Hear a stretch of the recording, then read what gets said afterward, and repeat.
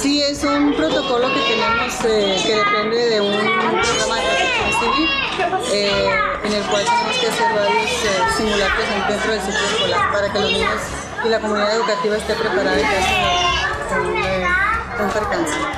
Tenemos entendido que usaron un nuevo sistema, ¿no? Para evacuar. ¿Podría decir cuál es? Eh, sí, eh, implementamos el, el hecho de que los niños bajen eh, unidos a una cuerda para que vaya todo el grupo eh, de manera organizada. La evacuación duró 2 minutos con 45 segundos.